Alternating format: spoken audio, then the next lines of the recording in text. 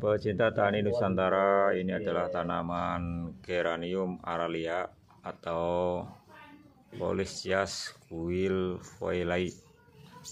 Tanaman ini cukup mudah untuk ditanam karena tanaman ini ketahanan hidupnya pada semua musim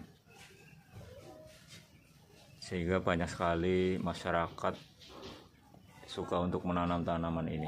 Tanaman ini bentuknya seperti daun seledri. Untuk memperbanyak tanaman Polisia kuil voilai ini sangat mudah. Kita bisa menanamnya dengan stek batang. Jadi tinggal kita potong batangnya kemudian tancapkan pada media tanam. Nanti mudah hidup. Dan ini adalah tanaman polisi polisias wilfoilei